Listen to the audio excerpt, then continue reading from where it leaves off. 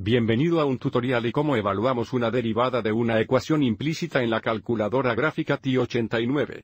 Aquí se nos pide determinar la pendiente de la línea tangente a la curva en el punto indicado. Utilizaremos la función de diferenciación implícita ubicada en el menú de cálculo para responder estas preguntas.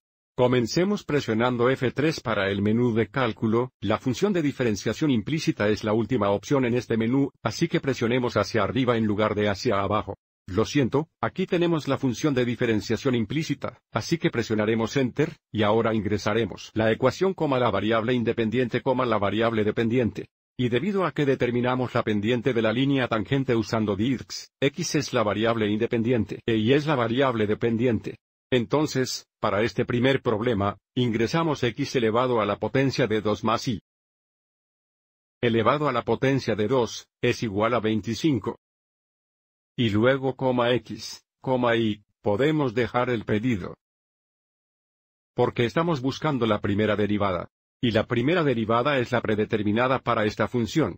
Entonces ingresamos un paréntesis cercano, presionamos Enter ahora. Obtendríamos dix que vemos aquí, pero también podemos evaluar la derivada en este punto volviendo a la entrada anterior, así que presionaremos la flecha derecha y luego presionaremos esta barra vertical e ingrese x es igual a 3 negativos, e y es igual a 4. Entonces x es igual a 3 negativos, ahora vamos al catálogo para y.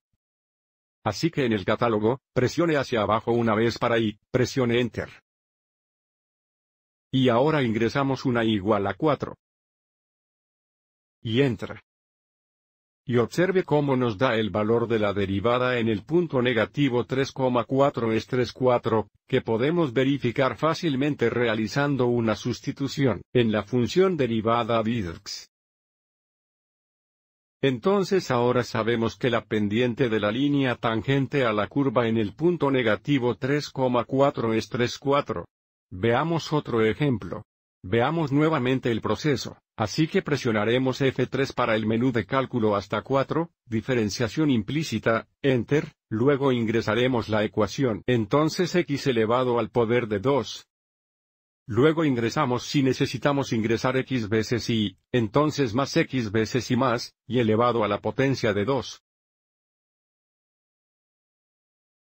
Es igual a 3, la variable independiente es x, la variable dependiente es y entre paréntesis, de nuevo si presionamos Enter ahora, la calculadora nos da dx. Queremos evaluar la derivada en el punto 1, así que usemos la entrada anterior. Presionaremos la flecha derecha, luego la barra vertical, x es igual a 1, y vamos al catálogo. Aviso y ya está seleccionado, así que presionaremos Enter. Y entramos a es igual a 1, y entramos. Dx es igual a 1 negativo en el punto 1,1, lo que significa que la pendiente de la línea tangente en el punto 1,1 es negativa.